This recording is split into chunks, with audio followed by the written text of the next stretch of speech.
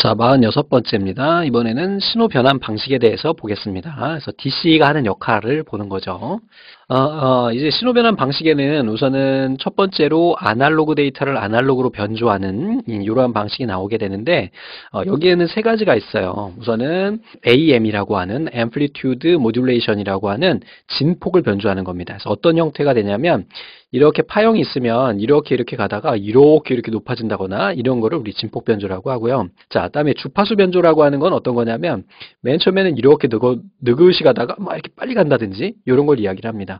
자, 다음에는 이번에는 위상 변조예요. 자, 위상이라고 하는 거는 각도를 의미하거든요. 그래서 예를 들면은 어, 여기서부터 여기까지가 180도고 이렇게 하면 360도거든요. 근데 처음에는 이렇게 했지만 얘를 반대 방향으로 이렇게도 갈 수 있잖아요. 요게 이제 위상 변조가 됩니다. 다음에 아날로그 신호의 구성 요소는 우선은 진폭이나 주파수 위상 좀 전에 말씀드린 것처럼 시간에 따른 값의 변화량 중에서 가장 높은 값과 낮은 값의 차이 요거 낮은 값과 높은 값의 차이를 이야기하고 자 주파수는 1초간 몇 번의 진폭이 발생하는지 이렇게 가다가 막 움직인다거나 위상은 신호 간의 시작 시간 차를 의미한다. 그래서 여기에 시가, 시작 시간이 결국은 요게 각도가 되거든요. 그래서 요 차이를 이용을 해서 어, 위상 변조를 할 수 있다라는 거 AM, FM, PM 모두 다 기억하시기 바랍니다. 자 아날로그 데이터를 디지털 신호로 바꾸는 거 우리 뭐라 그랬죠?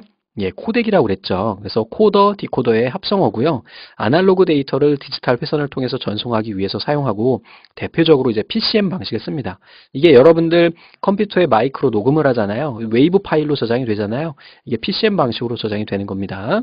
다음에 디지털 데이터를 아날로그로 변환하는 것은 우리 모뎀이라 그랬죠. 컴퓨터의 데이터를 아날로그 회선으로 보내주는 그러한 역할을 하게 됩니다. 그래서 여기에서는 어떤 방식을 쓰게 되냐면 진폭 편의 변조 ASK 그 다음에 주파수 편의 변조 FSK, 위상 편의 변조 PSK 이런 애들을 쓰게 돼요. 그래서 진폭 편의 변조 같은 경우에는 0과 1을 서로 다른 진폭의 신호로 변조하는 거고 주파수는 0과 1에 따라 주파수 변화를 변조시키는 거예요. 어, 디지털 신호인 0, 1을 얘네를 다른 진폭으로 바꾸는 거죠. 그러니까 예를 들면 이렇게 했으면 이렇게 돼 있다 그러면 진폭이다 그러면 얘가 0이다 그랬을 때는 한 이 정도 1이다 그럴 땐 1 정도 어떤 값을 주는 거죠.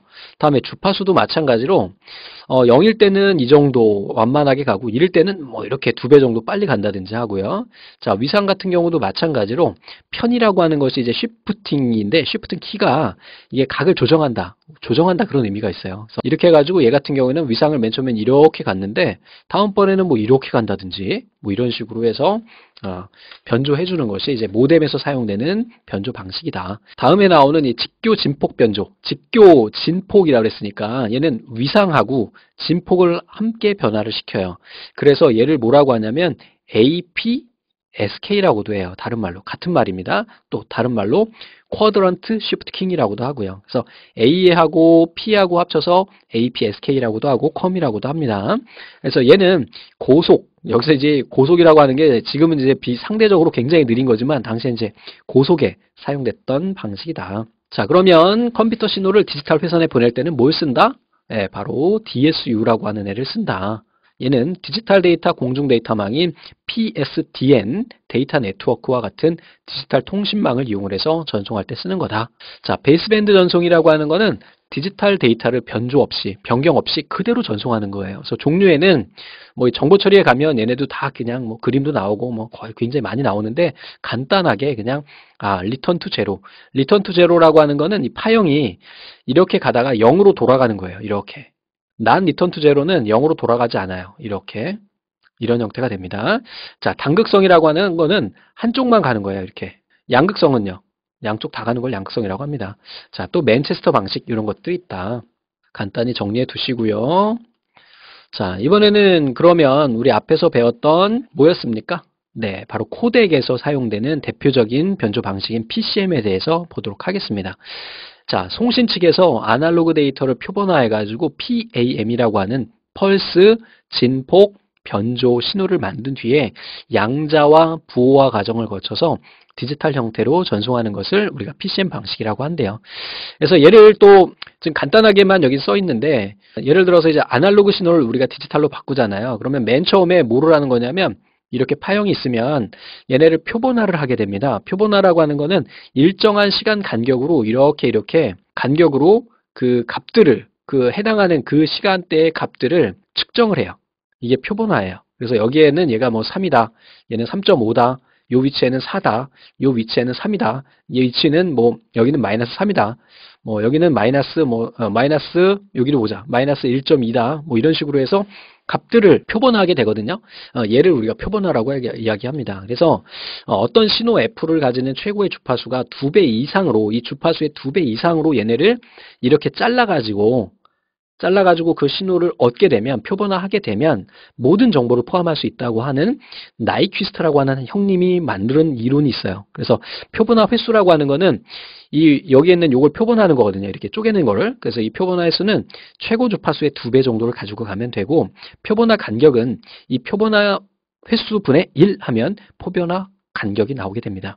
뭐 정보 처리에는 이거 계산하는 문제도 나오는데 아마 여기도 나오지 않나 싶은데. 자, 그 다음에 이제 양자화라고 하는 거는 여기에 있는 이 값들을 양으로 표시하는 거예요. 그래서 아까 여기 보면 3 그리고 얘네를 다- 모두 다 정수로 표현합니다. 지금 여기 뭐 실수로 표현되어 있는데 3, 2, 3, 뭐 마이너스 1, 마이너스 2 이런 식으로 양으로 표현하는 것을 우리가 예, 펄스 진폭 변조 신호로 평준화하는 바로 이렇게 정수화하는 것을 양자화라고 하고요. 그 다음에 이번에 이제 부호화는 이게 3이잖아요. 그럼 이진수로 변경하면 돼요. 뭐 4비트로 변경한다 그러면 3100 이렇게 그 다음에 2니까 2 같은 경우에는 0011이 되나요? 잠깐만 1 잠깐만 1 2니까 이게 이- 이게 3이고 이게 2구나 이런 식으로 해서 이진수로 부호화하는 것을 우리가 뭐라고 한다? 바로 인코딩이라고 이야기한다. 자, 여러분들이 여기서 아셔야 될 것은 바로 이 표본화 횟수가 최고 주파수의 두 배로 해주는 나이퀴스트 이론을 기억하고 계시면 됩니다. 그리고 표본화 간격은 표본화 횟수분의 1 이렇게 하면 나와요. 자, 코덱 뭐예요? 예, 아날로그 형태를 디지털 형태로 바꾸는 거고 펄스 부호 방식을 이용한다 그랬고요. 자, 펄스 부호 방식에서 연속 레벨 변조 방식이 있습니다. 그래서 PAM, 펄스 진폭 변조 좀 전에 봤죠? 얘는 폭이에요. W가 이제 위스가 됩니다. 그 다음에 P는요 포지션이 돼요. 그래서 진폭, 폭, 위치 변조 이렇게 세 가지가 있다. 다음에 모뎀이라고 하는 거 우리 앞에서 보셨죠. 그래서 컴퓨터와 단말 장치에 발생된 신호를 아날로그 신호로 변환하고 수신 측에서 그 변조된 신호를 복조해서 원래 디지털 신호로 변환하고 디지털 데이터를 공중전화망과 같은 아날로그 통신망을 이용하고 모뎀은 변조와 복조 기능, 펄스 전송 신호로 변환하는 거예요. 그래서 디지털 신호를 아날로그 신호로 변환하는 기능, 데이터 통신 및 속도 제어 기능, 자동 응답 기능, 자동 호출 기능 등이 있다. 자, 그럼 문제를 한번 쭉 보겠습니다. 다음 중 PCM 방식에서 음성 신호의 표본화 주파수예요. 최고 주파수가 아니라 표본화 주파수라는 것은 원래 얘가 8kH가 아니라 4kH였는데 표본화하기 위해서 두 배를 한 것이 8이 되는 겁니다. 그러면 별 다른 거할거 없이 8분의 1 하면 되겠죠? 이제 8분의 1 하면 되는데 잘 아시다시피 K라고 하는 것은 1000이잖아요. 그래서 8000분의 1 이렇게 하시면 됩니다. 그래서 요거를 8000분의 1을 계산하면 되는데 저는 머리가 나빠가지고 계산기로 한번 해볼게요. 그래서 1 나누기 8 하나 둘 셋 해주면 0.00025125가 나오고요. 여기에서 이제 마이크로세크라고 그랬으니까 여기 보시면 하나, 둘, 셋, 넷, 다섯, 여섯, 10의 마이너스 6승 맞죠? 그래서 125 마이크로세크가 나오게 됩니다. 만약에 이제 문제에서 표본화 주기가 아니라 최고 주파수 이렇게 나오면 곱하기 해주셔야 돼요. 꼭 구분해서 해주시면 됩니다. 자, 다음 중 반송파와 진폭의 위상을 동시에 바꿔주는 거 우리 뭐라 그랬어요? 퀄 됐죠? 다음에 송신 측의 펄스 보호 바- 과정 이거 시험 문제 자주 나오는데요.